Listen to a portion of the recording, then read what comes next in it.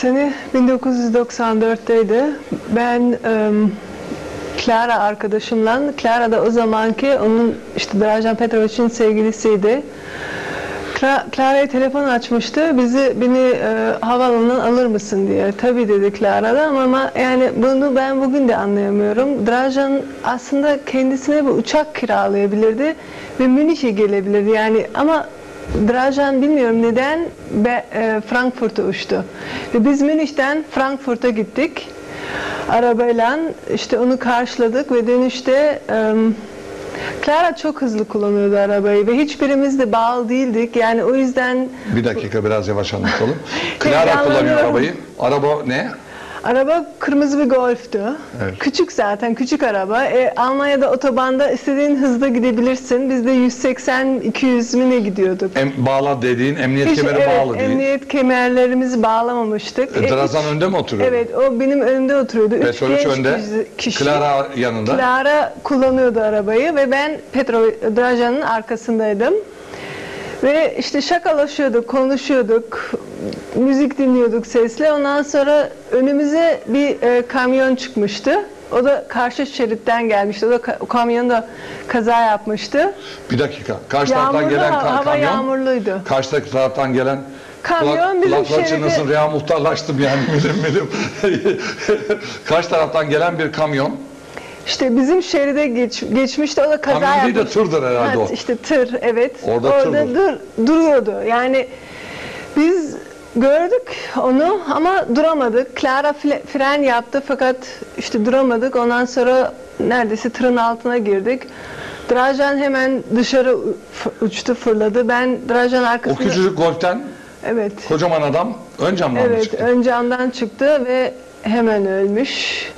Ölmüş diyorum çünkü ben de zaten arkadan önü fırladım ve önde oturan ayaklarını hani ayaklarını koyuyorsun ya Sen öyle. 1.90 boyundasın Evet, ve arka oraya koltuktan öne. sıkışmıştım, oraya sıkıştım Ee, ve Clara'ya nedense yani hiçbir şey olmadı, şok geçirdi sadece. O kendisini korumuş herhalde. İşte ondan sonra beni helikopterle e, hastaneye götürmüşler. Ben bir seneden fazla bir seneden fazla hastanede yattım. 8 ay komada kaldım. Kırık Yani mı pe- vardı vücudunda? e, beyin sarsıntısı geçirmiştim. Bütün kemiklerim kırılmıştı. Kalça kemiklerim, kol, kolum falan filan yani. İşte Drajan hemen ölmüştü ama zaten o arabadan o sağ çıkamazdı. Çıksaydı da muhtemelen basketbola yani zaten oyna, oynayamazdı. Çünkü o kazadan sonra ben de basketbol hayatıma veda etmek zorunda kaldım. Yani uçakla gele, özel uçak tutabilirdi, Ha özel işte yani o kadar limuzin tutardı. aslında. Yani istediği arabayı, istediği aracı tutardı. Helikopter tutardı. Çok Ama, mu seviyordu Clara'yı? E, Yani evleneceklerdi güya. Bilmiyorum öyle yani. Se, işte sevgilisiydi yani iyi arkadaşlardı. Drajan da Peki Clara nereliydi? Macar. Macar'dı. Şimdi ne yapıyor? Görüyor musun? Şimdi Oliver Bierhof'la evlendi. Ünlü futbolcu, Alman futbolcusu. Öyle mi? Evet o hep zaten böyle Bir, zenginleri bir tek bu arar. kısmını hiç bilmiyorum. Abi biraz anlat şurası da enteresan. Ya vallahi Teessüp yani ederim ona yani. Yani tabii ki ölenle ölmez ama e, bilmiyorum. Yani ondan sonra mesela Milan'da mı oynadı? İçeriden yönetim diyor ki Milan'da oynadı. Tabii ben futbol kurası olduğum için Evet, bilmiyorum hiç. Evet, evet. E, şu anda galiba İtalya'da. O da Çocukları falan. Valla bilmiyorum ben- ben kazadan sonra ilişkimi kestim çünkü Clara ile yani bizim arkadaş çevremiz aynıydı zaten çünkü ben komadan uyandıktan sonra duydum ki işte artık bilmiyorum psikolojik bunalıma falan filan girmiş ama yani ben ben ben de çok çektim bu kazadan sonra ve ben arabayı kullanmışım dedi. Keşke ben kullansaydım o zaman bana hiçbir şey olmazdı. Birkaç çizim, çürüğüm olurdu ve hayatıma devam edebilirdim. Basketbol oynayabilirdim, mankenlik yapıyordum, mankenlik yapabilirdim. Yani bilmiyorum benim bu kazadan sonra haya- benim de hayatım çok değişti ve ben çok şeyleri değiştirmek zorunda kaldım.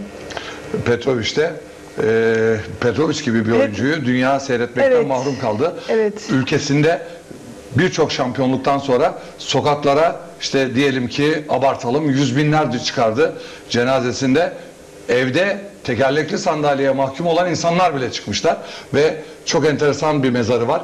Sevgili basketbol severler evi araştıracağım. Evde e, onun mezarını ziyaret ettiğimiz zaman kaset var. Kaseti bulursam getireceğim. Olmazsa e, mezarlığını çünkü Zagreb'te e, mezarına gittik. Mezarının başında dört tane oyuncunun e, dört tane oyuncu simgesi var. Çünkü neden? Daima o birinci oyuncuydu. Diğer dört oyuncuyla birlikte ve bir dünya var yerde ve dünyanın en iyi oyuncusu olarak o gösteriliyordu. İnanılmaz bir insandı. Hayat dolu bir insandı. Kendisiyle de bizzat tanışıp sohbetliğimiz de var.